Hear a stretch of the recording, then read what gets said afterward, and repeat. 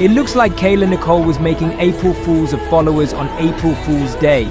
Kayla made her post on Monday, April 1st. That day is infamously a day in which the internet is rife with deliberate misinformation